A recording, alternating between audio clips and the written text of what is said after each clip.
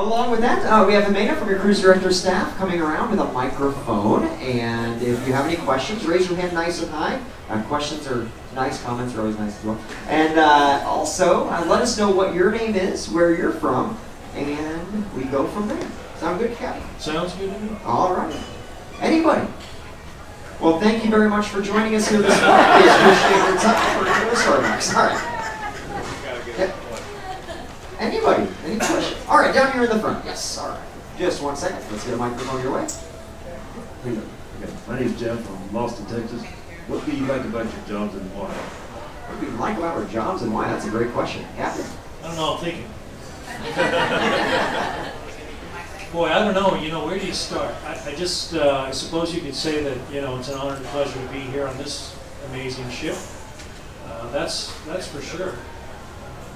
I've been here now 20 years, so I've been on a number of different ships, been on different itineraries. I've experienced a lot. When I think of all the things that I've learned and experiences I've had since the last 20 years, um, I suppose all of that combined is why I'm still here. I mean, it's it's never changed or ever changing, and it's um, I learn something every day.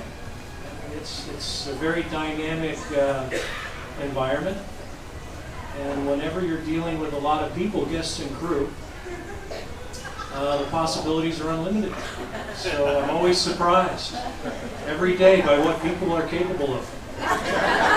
You're not speaking of me specifically, are you? No. Okay, thank you. Well, Uh, from my angle, I, I, I'll kind of sum it up as, uh, I suppose in one word, is happiness. Um, but to give you a little bit more of a deeper example, uh, two of my best friends uh, back home that I grew up with, uh, one is in the medical profession, and the other is an auditor for Union Pacific Railroad. And I joined this company 15 years ago, and kind of on a whim. And of course, they started giving me the, you know, a little bit of grief, saying, "Oh, you don't have a real job," you know, that sort of thing. I turned it into a career, and uh, at the end of the day, I can always just say, "Hey, listen, guys," I still give them a lot of grief for this. So when you guys walk into a room, nobody wants to see you. They're either ill or they're being audited. I get to walk into a room and I have a thousand people, two thousand people, six thousand people looking at me going, what are we gonna do next? This is fun. So we really get to see people at their best. You guys relaxed on vacation, switched off, switched off from your phone and your emails and your work and your television screens and your news outlets. Can we get rid of some of the news channels anyway? Uh, can we just, you're kind of switched off. So we see everybody at the best, which kind of sums up it's a it's a positive environment to be in, and uh, the nice thing is, is we had the opportunity to make a, a nice uh, a nice living on it as well. So, thank you very much. That's a great question to start things off. Next question, right over here. Uh, Mike Roy, I'm from Niagara Falls, New York. Um, how long is the ship? How much fuel do you use? Um, and so forth. how long is the ship, or how long is the trip? How long is the ship? The ship is uh, 1,188 feet and 6 inches, depending on the, The six inches is very important. Do you want to know why? Go ahead. Oh, sorry, Ken. Because the Harmony is 1,188 feet, and we are 1,000 four inches. Four inches, and we are 1,188 feet and six inches. Two inches. Two inches makes a big difference to some people. Yes. The, uh, what was the other question? How much fuel do we burn? We burn a lot. On this um, itinerary, we'll burn about a thousand tons in one week. So that's a lot of fuel. But if you divide it by all the people with all the miles, it's about 80 miles to the gallon per person. So that's not too bad. It's pretty good. You know, we get to take our whole house with us. Try to do that with 80 miles to the gallon on anything else. But, um, yeah. We, we have enough fuel. I get the question too often about fuel. So we, we carry about 4,000 tons. And, you know, realistically, we can sail three weeks and still have fuel in our tanks. So that means that we could basically cross the Atlantic over and back without refueling. Not that we would do that, but we could if we had to. And we would still have enough in our tanks to make it safe. Usually you use a rule of thumb of keeping no less than 20%. That said, I've never seen less than 40%. We, we manage it like that. Thank you. And uh, Captain, in uh, in uh, St. Martin, did we go to St. Martin this week? I am so Yes, lost. St. Martin, we did. We did. We uh, we fueled up. Is that was that the barge that was on the site? Yeah, that was the barge. Yeah. So that uh, our fuel tank, our our gas station, basically comes to us. So if you saw that big uh, tanker outside in St. Martin, uh, that was uh, that was the chief engineer down there filling up. Did you see him? He had his hand on the nozzle all day long. It's a little sore after a while. Yeah, you should see him when he swipes his credit card. Does it points on? Yeah, he- well, he's not saying much about it. But, um, yeah, we, we pumped that barge dry, and we only took 1,500 tons. So that gives you an idea of the volume. Amazing. All right, next question right back here. Uh, my name's Dean. I'm from Orlando. Uh, two-part question. So, can you explain the pilot boat process coming in and out of port, and also how many people are on the bridge at a time? Well, uh, people on the bridge, it really depends, arrivals and departures, or whether we're just sitting in port. So um, when we're at sea, like we are now, um, really good conditions, not much traffic.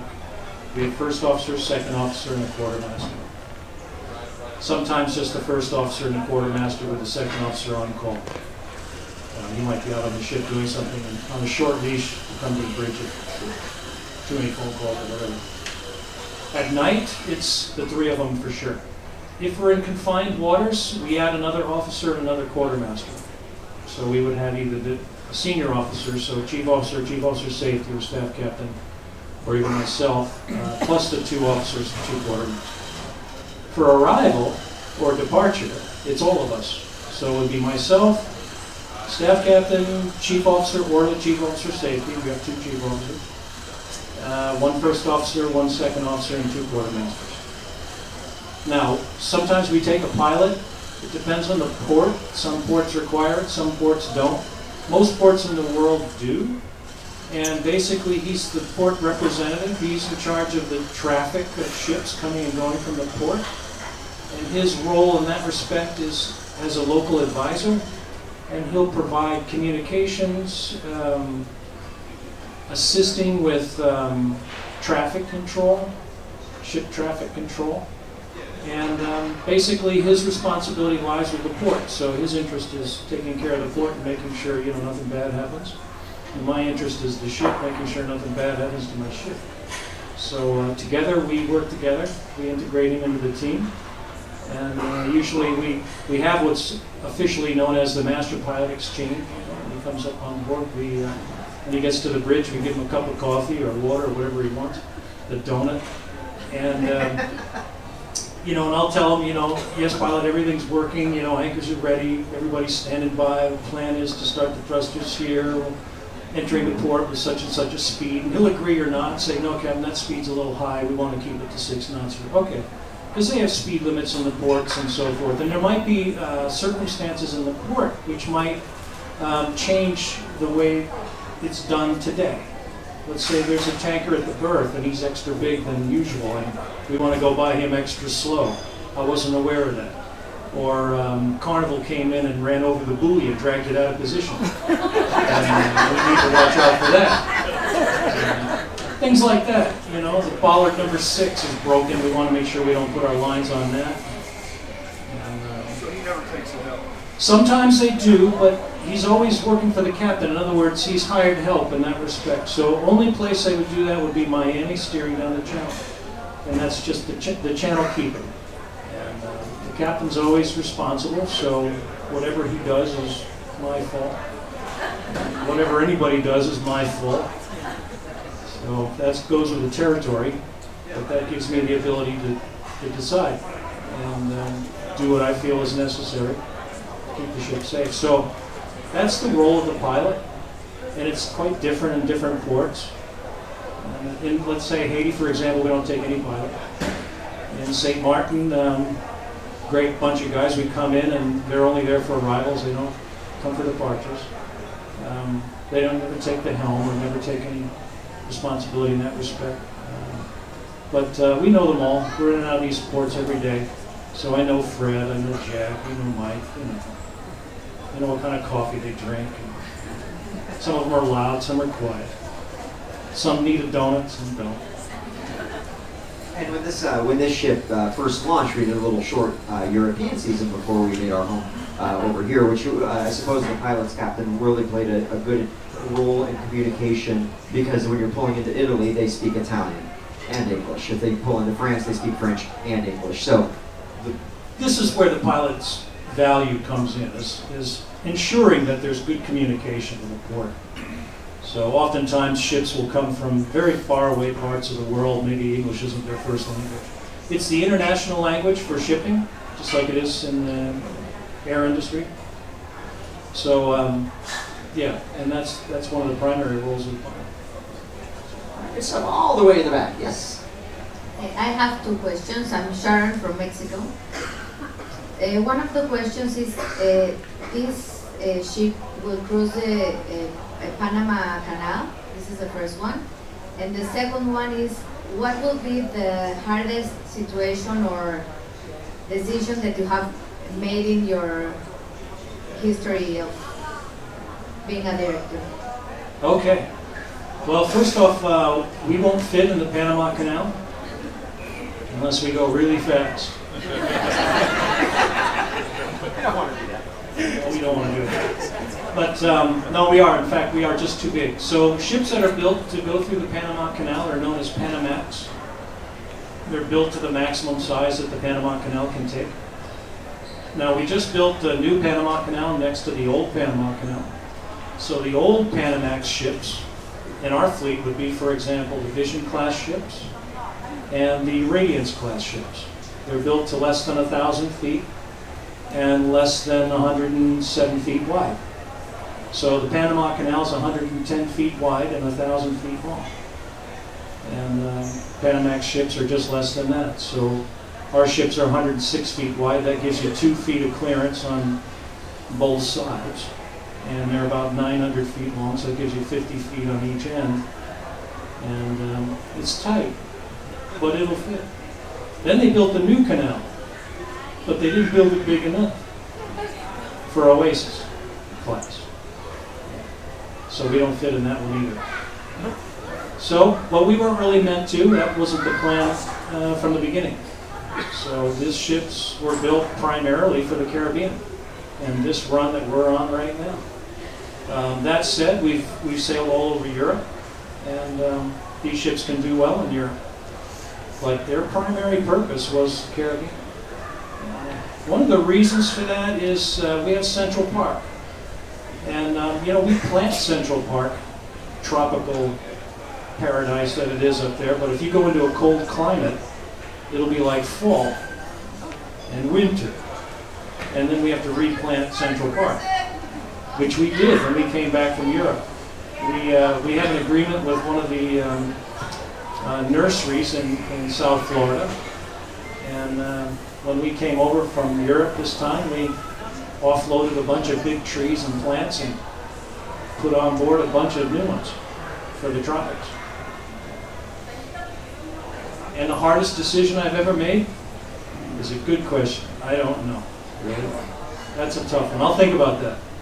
How's that? All right. Next question, all the way in the back. Yes. ma'am. Good morning, Danelle from Ohio. Captain, was there an application process that you had to go through in order to be chosen for the ship? No, it involved a hat and some names. I, I drew the short straw, I guess you could say. No dartboard? No, what? Dartboard, yeah. No, um, yeah, th- there's a process. Um, let me just explain in general how it works. We periodically, the company will ask all the captains what's their top three choices. And uh, we get the opportunity to tell them my first choice would be, you know, freedom of the seas. My next choice would be um, grandeur of the seas, and my next choice would be uh, Empress. And then um, they'll just go send you wherever they need. Nice that they ask. Yeah, nice that they ask, and that's pretty much where it ends. That said, they asked me to come to Symphony, and I was happy to do it. It's been an amazing year. Um, we started in November last year in the shipyard in France, and uh, we were six months from completion. So it was a really huge construction site, as you can imagine. None of this was finished. There were cranes and tiles were up, and you can't imagine what it looked like. It's really hard to describe. And when you first get here, you just look around and you go, how are we ever going to finish this on time? And that's our mission, you know, as the captain, and, and I come with a small team early on, in, in this case in November, our first cruise in April. Um, we were tasked primarily with keeping track of the progress and ensuring that the resources are directed in the right areas so we can finish on time. And with that, we are given direct access to those who can make those decisions. So that was a very interesting process. It's um, hugely demanding. I lived in an apartment. I drove to work in a car every day like normal people. Uh, we didn't move on board the ship until February. And um, every day drive to work in the morning before the sun came up and leave in the evening when the sun had long gone down. I did my own laundry. I cooked for myself. I did all of that. How did you ever? Yeah, just awful. Goodness, it was terrible. No, really, I enjoyed it. It was a lot of fun, and uh, I burned a few pots of stew in my little apartment, but I learned how to do it. It was good fun. We used a system of S curves to manage and monitor the progress in certain areas, and and knowing that you know we have to finish projects at a certain rate in order to be complete on time. And when that rate was diverging from what it's supposed to be, we knew we were falling behind.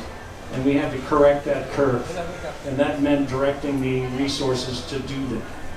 And it's a process that takes time, but you have to attend all the meetings, you have to be there with the foreman and, and all the guys who are making it happen. Very interesting process. There's a lot riding on it. We really had to be finished for our first cruises. And Symphony, I will say, was the smoothest takeout in the history of the company. We were done on our first cruise, and that's very unusual to be as complete as we were. So really it's true, this was the smoothest, and we refer to it as a flawless takeout. So that was our mission, to have a flawless takeout. And really, I think we achieved it. It was remarkable uh, how it all came together. Credit to the team, both in the shipyard and on board. Excellent. Next question back here. Um, I'm Rain from Toronto. Uh, what was your most memorable experience so far on the Symphony of the Seas? Most memorable experience. Wow. You, you first. Me first. Um, most this moment right here, sitting with all of you. Aw, isn't that nice? No. Um, I love you all, but uh, I would say, and I, I, I'm not sure. Well, you have probably more memorable ones, but uh, the naming ceremony. The naming ceremony of a ship. It goes back uh, a long history uh, in maritime tradition of naming uh, a ship, having a, a godmother, or in our case, we have a god family, uh, the PenaVega family, uh, where they christen the ship, they crash the champagne bottle uh, against the side of the uh, of the ship, and it's just a really a beautiful ceremony and a lot of rich tradition, and uh, you know, from the blessing of the ship all the way through. And I had a great seat. I was in about the ninth row. Captain, you were in what row were you in? I can't remember, but it was somewhere in the front. Yeah, yeah, he was in the front row. Anyway, actually, no, front front row, like on the stage. There you go. Anyway, uh, but it was uh, it, it was a really really nice uh, tradition because I guess at the end of the day, this ship, when you think about it in the grand scheme of things, will be sailing these waters for 40, 50 years, so long as you know she's maintained uh, as well as we know that she can be. And uh, knowing that I was there in the very beginning with the christening of the ship, it's something that I can, you know, tell my kids and my grandkids that yeah, I was there. That's no, that's really true. I mean, I think that you're spot on. I we did uh, the naming ceremony in Miami when we came over, breaking the bottle and doing the very traditional one. But we also did the handover in the yard when we sailed from Saint Nazaire, France. Just before we sailed, we had a very big ceremony with the shipyard, where the shipyard basically hands us the ship.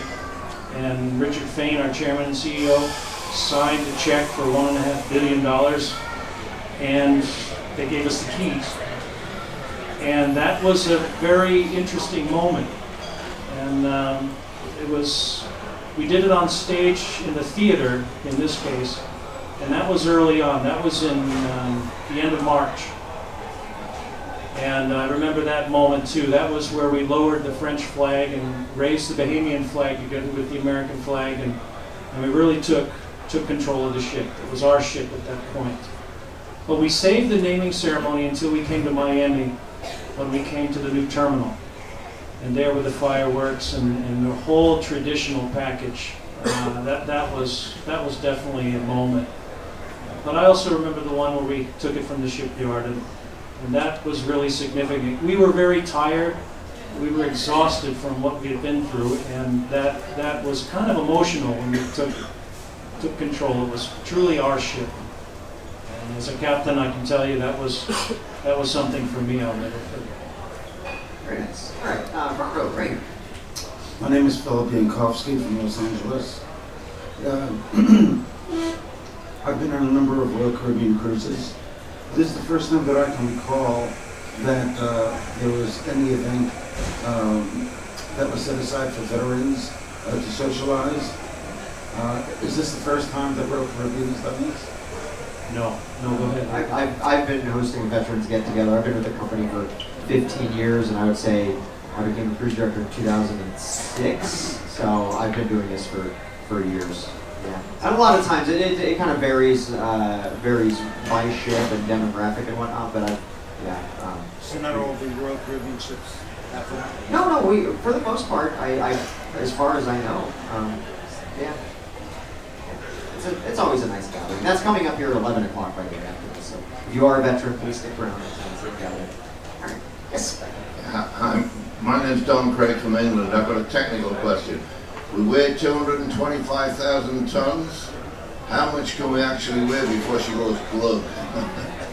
Well, you know, the measurement, uh, gross tons, which is how we measure in 225,000 gross tons, is actually a measurement of volume, not weight. So a gross ton is 100 cubic feet, and it's measuring the internal volume of the ship. The reason we do that, in the commercial world, we don't really concern ourselves as much as how much the ship itself weighs, but more about how much it can carry, because that's its value. So we measure ships by gross tons. Now, a cruise ship typically has a lot of volume with all the interior spaces. So our tonnage can be quite high, but we don't weigh a lot because we're hollow. So on this ship, we are, even though we're 225,000 gross tons, we're 106 displacement tons, 106,000 displacement. That's how much we actually weigh. If we put it in the bathtub, that's how much water would come out, how much she weighs. So how much will it take to make her go glug? Uh, a whole lot more than we could probably get on right now. I mean, you couldn't do it. No, you couldn't fit enough on here to make it go glug. You could make it go down in the water enough, but you just couldn't do it because the structure itself couldn't couldn't hold that it would take, if you know what I mean. We're built to a certain strength standard for her mission. And the mission is what we're doing now. Okay. Happy to hear that. Excellent. No, we, we should be good, at least until Miami. Yeah, I think so. So far, so good. Excellent. All right, next question. Morning. I'm Donna Berger from Las Vegas. What I want to ask you is, are they going to do uh, a 10-day run eventually? Maybe, I think a lot of people love to do a 10-day instead of back-to-back. If you can answer that, that'd be great. You, you want to do a back-to-back cruise? Doing instead of doing a seven day, seven day, doing a 10-day back-to-back, or a 10-day run, just like different ports. Just a 10-day run. Well, you know what? If you do a back-to-back, that's 14 days, and it's different ports, so it's the same thing. South, South, like way southern. south. Yeah. Well, you know, never rule it out. At this point, this class is shaped the way we find the business works the best is one week cruises. That does limit us to how far south we can get. If we really want to get to Curacao, Aruba, Bonaire, the rest of the islands south, um, Antigua, etc., um, it takes more days if we want to leave from Miami. So that's why we have a ship in San Juan. And if you run out of San Juan, you can go all the way down and back, and but you have to fly yourself to San Juan. So, that said, um, long cruises generally no on Oasis class ships, unless you're doing a crossing. So, Oasis is headed to Europe in the spring. And that'll be a long cruise. I think it'll probably be somewhere in the neighborhood of 14 days, maybe 12. And it'll be many sea days, but you will leave from, let's see, Port Canaveral, and you'll end up in Spain and a few places in between. But that's the exception. And, and when Oasis does come back to the United States, uh, it's going to be based out of Bayonne. And Bayonne, New Jersey, often uh, being as far north as it is, it will be doing its traditional seven-day runs down to the uh, down to the Bahamas and Perfect Day, our private island, et cetera, et cetera. But there may actually be, and I haven't looked at the uh, the deployment, but there may be uh, a couple of cruises that do go seven plus days. However, um, it wouldn't be all the way as far south as I think that you're wanting to go. So, all right, very good. Next question. Hi, uh, my name is Grace. I'm from Canada. I was just wondering what kind of fuel you use and what the impact is on the surrounding aquatic ecosystem. We burn uh, what we call HFO, heavy fuel oil. It's black, it's thick, it's like molasses at room temperature. So we have to heat it up and make it thin so we can filter it and pump it to the diesel engine? It's an interesting question because there's a lot to it. The, the fuel or energy density of this fuel is as good as it gets until you get to nuclear power or nuclear fission. It's, there's that much energy per volume. It's about 45% uh, more dense than gasoline per pound per heat factor that we get out of it, how many BTUs per kilogram. So we get a lot of horsepower out of this fuel in other words. We're burning it right now at about 42% thermal efficiency, which is as good as it can be. Um, we have similar diesel engines um, as a power plant ashore, and they're similar um, efficiency, thermal efficiency. To put it in perspective, your economy car, your Prius, let's say, is getting about 25 to 30 at the most thermal efficiency. So we are much more efficient in that respect, burning this, this heavy oil. And that's because the engines turn at a low RPM and there's less friction loss. A high-speed engine loses a lot of heat in friction. And that's why automobile engines aren't that efficient as compared to a slow-turning big diesel. Now, we have to deal with the emissions from this. And there's two, two kinds of emissions. There's the CO2, which we can't do anything about. But there's the particulates. And in this case, you're going to have sulfur, sulfuric acid compounds that come from the sulfur in the oil. And you're going to have some carbon and uh, nitrites. So the scrubber system that we have on board, the, what we call the AEP, Advanced Emission Purification Plant, washes the stacked gas coming out of the smokestack. It's really important that you know that. When you look up and you see what looks like white smoke pouring out of it, that's really vapor. It's water vapor. It looks like smoke, it lingers like smoke, but it's really not. It's, it's water vapor mixed with a little bit of caustic soda, which neutralizes the acids, the sulfuric acid, in that smoke we capture that uh, wash water and we save it. And we land it in Miami and where it goes back to the um, refinery and it's reprocessed.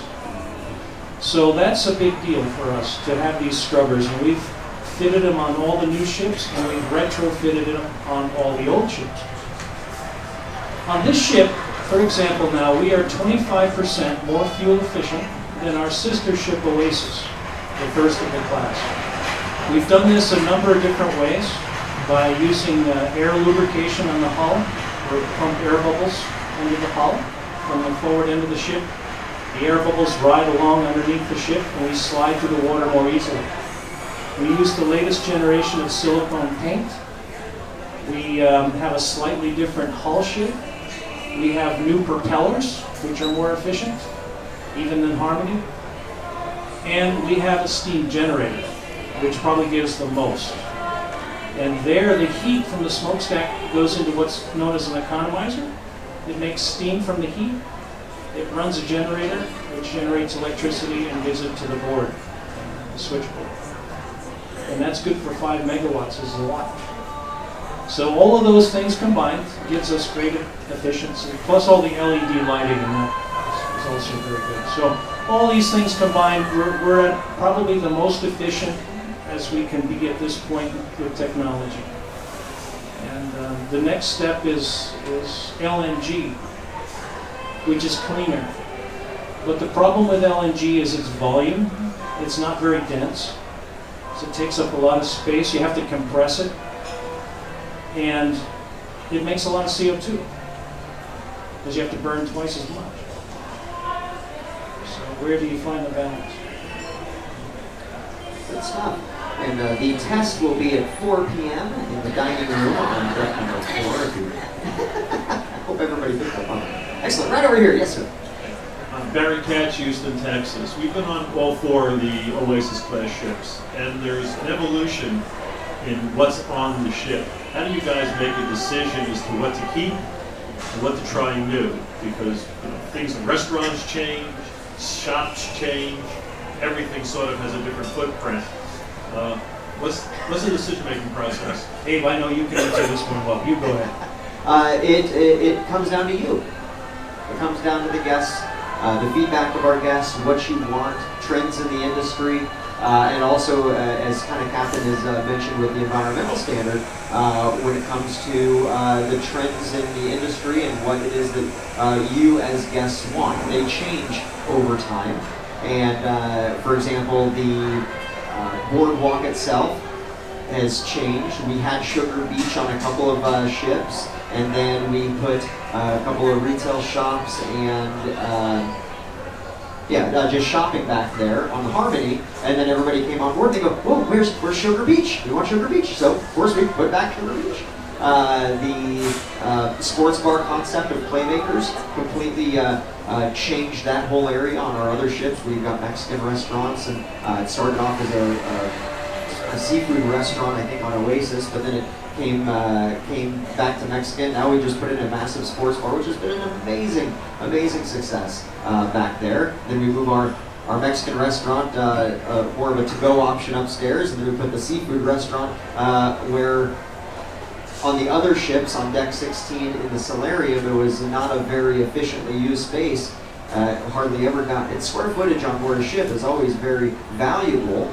Uh, we can't just build a wing on if we want to expand, so we need to take every square foot uh, into account. And in this particular case with uh, the Deck 16 forward and solarium, they thought this is such great space, but it rarely gets used. Let's enclose it and put a, a, a wonderful seafood restaurant in there, and, and did that. Uh, same with the Solarium Bistro, kind of adding that concept. And they forgot to put a, a, a, pool on the Harmony in the Solarium, so they got that one right on here. Uh.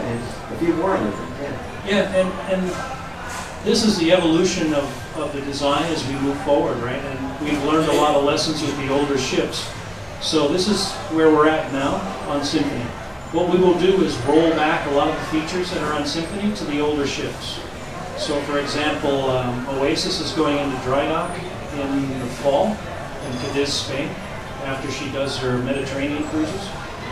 And they will invest over 250 million into Oasis, and she will get a lot of the same features that we have here. I know on Harmony, for example, they moved Starbucks to the boardwalk. They're going to move it back. Everybody likes it here, including me. And so not that that matters, It's, but it's closer to our office, the bridge. It's closer. just some examples. You know, we move things, we move them back, we change things. It's a success, no, it's not. We change it. We're pretty quick to make changes where we, where we feel it's needed. It's there's quite a science behind it. Uh, and, and even, you know, talking about square footage, how important it is, we even took our car that was a normal size and Captain put it into a car crusher and just balled that thing up so we could give you a little extra space there. Next question here. Uh, Donna from Sarasota, Florida. 2,200 crew on board. How many countries are represented? Uh, we're close to 90. 90 different nationalities within our crew, between 80 and 90, depending on the, on the cruise. Every week we have crew going home and crew coming on board. So we're probably averaging about 100 crew a week coming and going. So that number changes a little bit, but it's generally between 80 and 90. We're very diverse. Along with that, we were, we were talking about doing different things on different ships. Is there any possibility that the Oasis, Oasis class ships will have the parade of flags, which is one of the most fun, entertaining, and it highlights your crew? It's a wonderful event. I know it is, and we, the, we never did it on the biggest ships. It was usually the smaller ships that we would do that. Instead, we do the parade, and Dave, you can highlight that one. But That's actually at 12:45 along here. And uh, yeah, the parade of flags. It is a it it is a nice uh, nice touch and a nice uh, feel to it. But when it comes to these uh, larger ships, we do the, the big big parade. Parade of flags was always just kind of a oh we don't have a royal promenade to do a normal parade, so let's just wave a bunch of flags together. But it's a great great concept. It's really, uh, really quite nice. Just Next question, Henry. We have time for just a couple more questions here, folks. Uh, Todd from Ohio. Just wondering when you're assigned a new ship captain, uh, does your work schedule change for on and off fleets to kind of keep that continuity through build and handover? Yes, it does. And um, whenever we move from one ship to another, our schedules have to be adjusted to fit again. So um, we work 10 weeks on, 10 weeks off. I'm going home with you on Saturday. Not you, but. And, and I'm going to Seattle, and I heard it's raining. The, um, my reliever is coming to replace me, so every ship has two captains. One's home on vacation doing the dishes and painting the house and feeding the cat, and the other one's here, you know, having fun. And um, when we do move, we're usually assigned to a ship three, four years at a time, give or take. I've spent up to four and a half years on one ship and a year and a half on another, so it's fairly flexible, and it really kind of depends. Uh, my schedule, for example, on the new build, I was straight through. I had a couple weeks off for Christmas last year, and it was from November all the way to the end of March, first part of April. So that's a unique situation, but that's how it worked.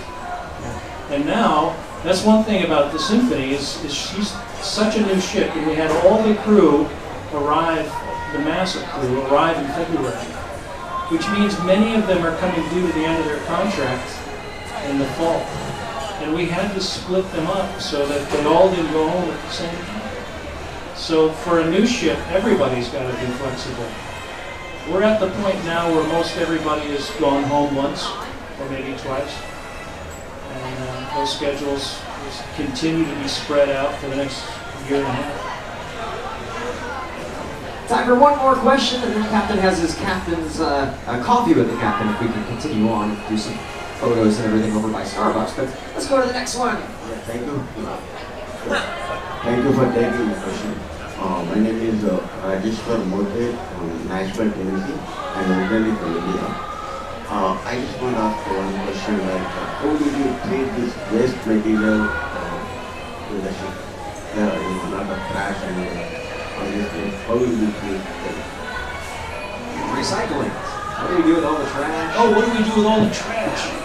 Well, yeah, we're um, recycling up to 73% of all our consumables, and um, we've achieved zero landfill.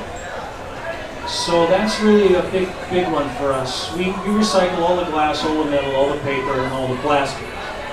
Whatever we can't recycle, we burn, and we make it to ash. That ash is landed in a gasification uh, plant where they take basically garbage and they make gas out of it and they burn it for electricity. So nothing goes to the landfill. And that's generating electricity in Fort Lauderdale. We don't actually land that much. It's very, very little. I mean, ash is like a, couple of cubic meters and that's it. And there's not much left of it. But um, you'll see bundles and bundles of pallets um, with crushed cans and strapped up cardboard because everything, all our supplies comes in cardboard boxes. And so every uh, every week, you know, we have piles of cardboard, and we have a special machine that crushes it and straps it up. And you'll see it on turnaround day tomorrow. If you were to hang around on the pier, you'd see it going off first thing, and it's trucked off at the recycling plant. And one, and one little uh, bit may I add, uh, which is something that I think it, it's not known, but I think it should be a little bit more. Uh, the crew work exceptionally hard. Your stateroom attendants, uh, the cleaners, everybody running around the ship, they, they, they, they separate and they, they take everything. To give even more motivation, obviously recycling is big business. It's a, it's a trillion dollar business worldwide when it comes to the ship would obviously, landing so much, would get money for the recycling. But the money itself that we get from the recycling does not actually go into the profit. It actually goes back to the crew. We have a crew welfare fund on board the ship that does things like Christmas parties and big, huge, lavish buffets that you guys never get to see, and new karaoke machines. We have an incredible room, and I know I'm going to make some guys jealous here, uh, where we have probably 24 Xboxes that are all set up, and PlayStations and screens, where the crew get to just hang out and relax. What you all see as guests is only about uh, maybe 60% of the actual ship. 40% behind the scenes, a lot of technical spaces, galleys and whatnot, but so much of it is actually recreational areas specifically for crew. So when you, when they, you know, punch the clock and they go off and work, uh, everything from coffee shops to three different bars and nightclubs and restaurants and so many different places for, uh, for them to relax and enjoy. And uh, so much of that actually comes from the hard work that they do when it comes to recycling. So I always thought that that's always a nice little bit that not many people, not many people uh, know and understand, but it's uh, it's nice to, to see that. That's been that way at least since since I joined the company 15 years. All right. Well, thank you everybody for your wonderful questions here today. Thanks for watching and make sure you hit the thumbs up button if you enjoyed this video. Also make sure you subscribe so you don't miss the next videos I will be posting and leave your questions, comments, and suggestions below.